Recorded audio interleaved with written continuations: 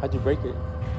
Um, I think something ended up on top over there, and I thought I could like you know step and climb, but on the was- first step, I was gonna. Take a seat down. You're gonna be tired standing up. All right, let's start. Um, this topic is something that I hold dear to my heart. Um, it's something that I've learned recently, and the topic is forgiveness. And we're gonna have a discussion at the end, and Caleb is gonna be the one leading the discussion at the end the discussion questions. So, our focus uh, passage is going to be Matthew 6 14 through 15. Uh, before we start reading, let's, let's pray. Thank you, Lord, for this day, and thank you for another day of life you've given us. And thank you for blessing us to be here and help me calm my nerves down and just to speak your word out, Lord. And thank you again for blessing me to do this. And I pray this in your son's name. Amen. So we're going to start off by reading Matthew 6, 14 and 15.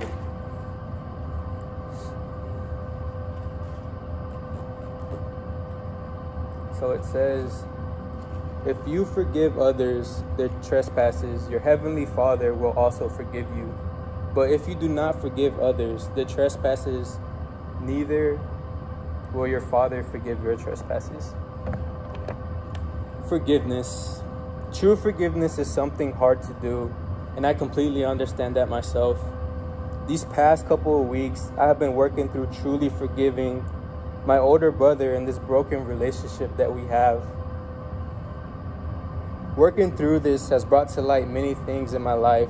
On other relationships, I have either ruined, broken, or took it for granted because of this grudge I held against him in my heart for many years.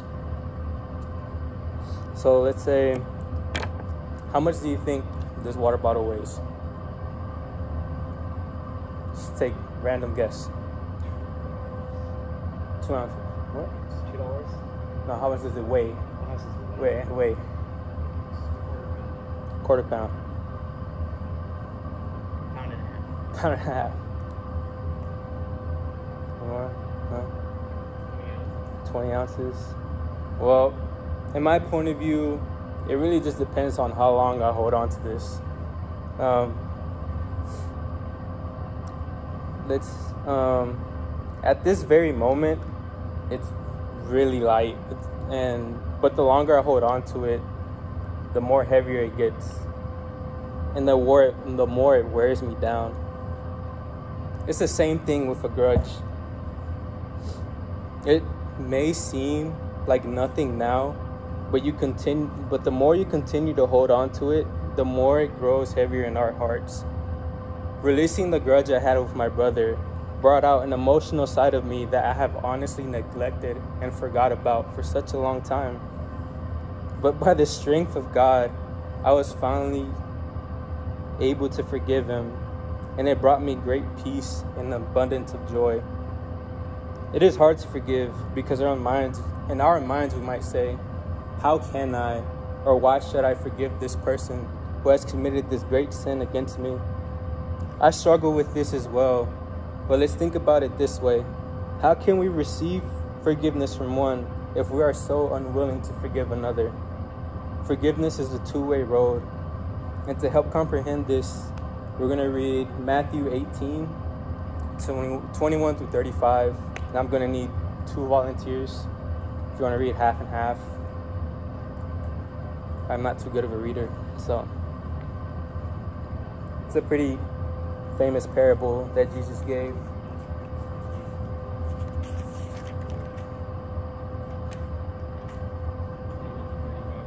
Yeah.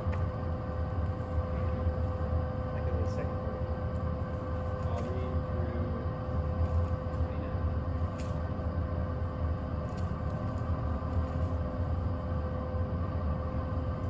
Then Peter came up and said to him,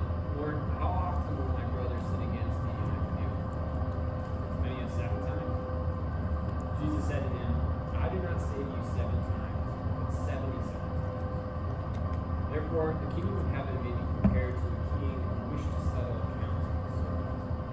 When he began to settle, one was brought to him who owed him 10,000 talents. And since he could not pay, his master ordered him to be sold with his wife and children and all that he had, payment to be made. So the servant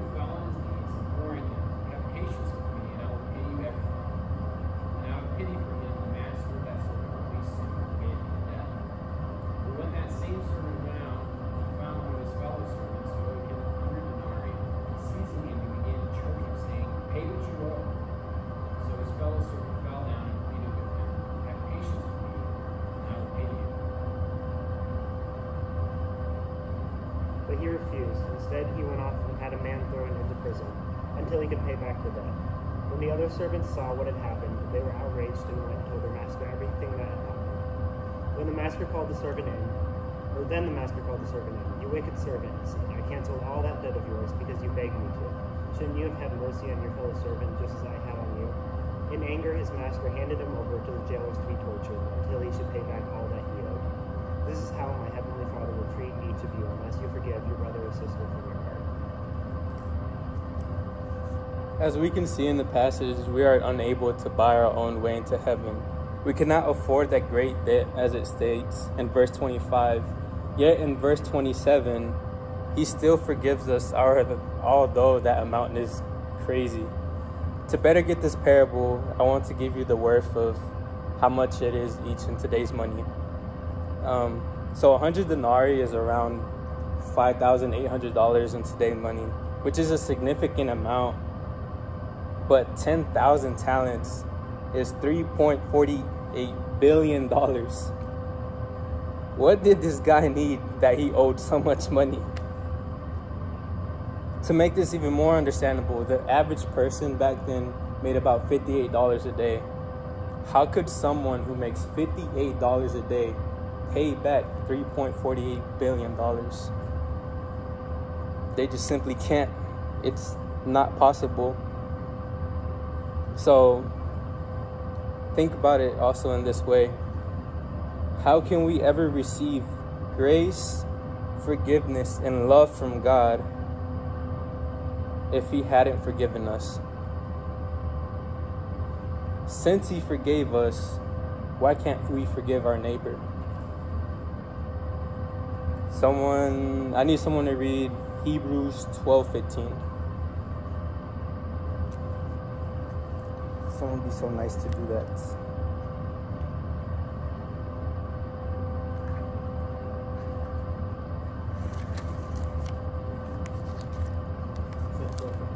Yeah.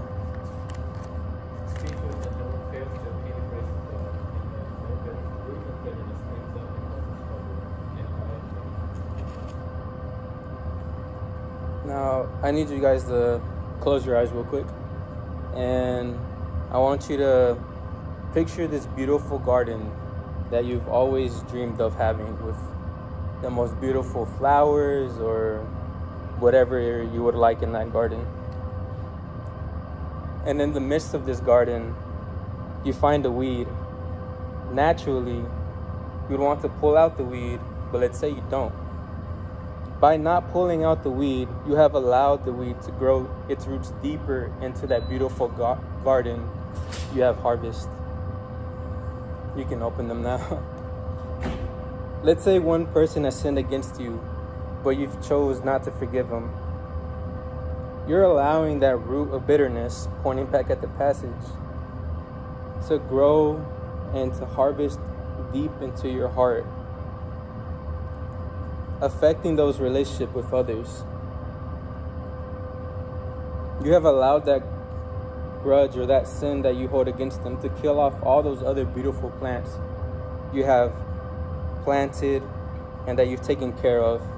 Hanging on to that grudge does not bring justice or serve that revenge you may seek, but it kills those joyous parts in our lives. Forgiving the person doesn't mean whatever they did was fine. No, that is not what I'm saying at all. But whatever, but rather it relieves us from that root of bitterness. The people who suffer the most from not forgiving is ourselves. Now, looking back at the first passage we read at Matthew 6, we forgive because we have been forgiven without deserving forgiveness in any way. To reflect the image of God as we try to imitate Jesus, we should forgive willingly even if the person doesn't deserve it. Now, forgiving, forgiving isn't something that always happens immediately, but it's a process and it's a daily choice that we do. To truly forgive, we must turn to God and ask Him, Father, help me forgive this person as you've forgiven me. Forgiveness doesn't mean that you're weak, but it shows that you have strength. You are willingly letting go of hurt and trauma to have your heart focused on Christ. Now, on moving forward, I'm gonna need three more people to read. Um, one, two, three. Uh, Philippians 4 8, Isaiah 43 18 and 19, and Romans 5 3 to 4. And in each of these, I'm going to bring out um, a point. So, point number one is being focused on what's good. 4 8.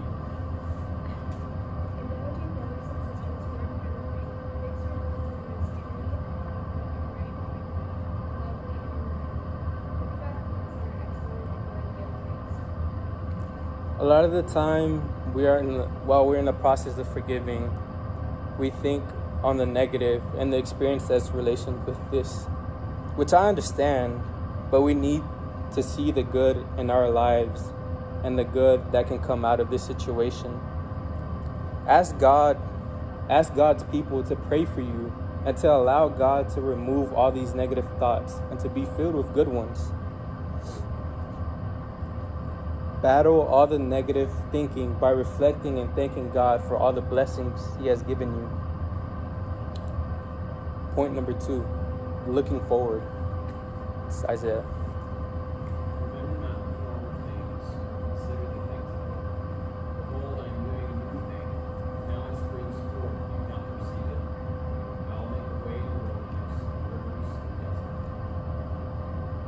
Focus on what God is doing now in your life and not what had happened. Yes, I know it's easier said than done. I totally understand. But let's be a part of the amazing things He is doing and that He has in store for us. Our past is in the past. What happened will always be there. We can't change that.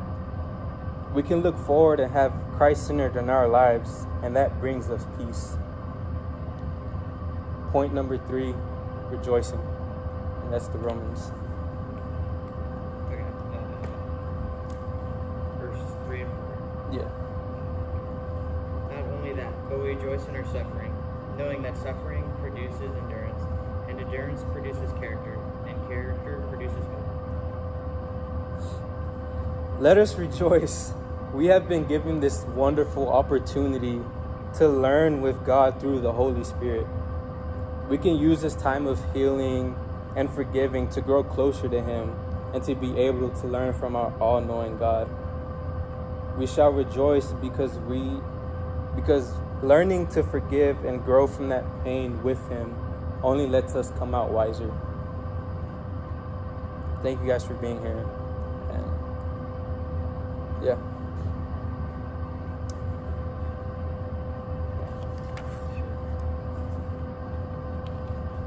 If you want to